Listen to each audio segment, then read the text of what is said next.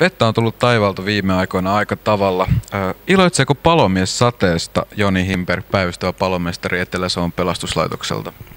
No tietyissä määrin kyllä, että siinä mielessä, että meillä on ainakin ollut nyt sillä tavalla sateesta hyötyä, että ei ole näitä metsäpaloja aiheutunut sille, että ei tarvitse näitä pitkäkestoisia tilanteita lähteä hoitamaan. Metsäpalojen lisäksi erityisen työtelijäitä on kuulemma turvetuotantoalueiden suopalot. Kuinka paljon ne pahimmillaan vie työväkeä teiltä?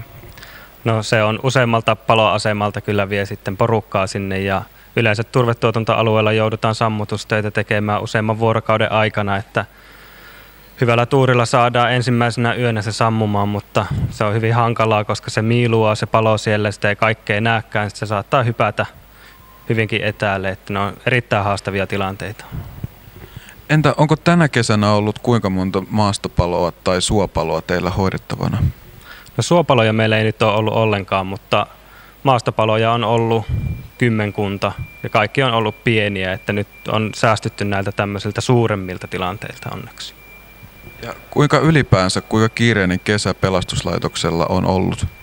No tämä kesä menee aika lailla keskiarvoon, että tietysti nämä onnettomuustyypit on vähän vaihellut, että ei ole maastopaloja saman verran kuin viime vuonna, niin kuin huomattiin tuolla, että viime kesänä oli kesäkuussa 40 ja tänä kesänä on ollut yhdeksän.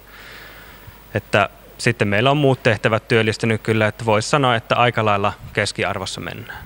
Töitä riittää kuitenkin ilmeisesti kellon ympäri. Joo, ilman muuta riittää.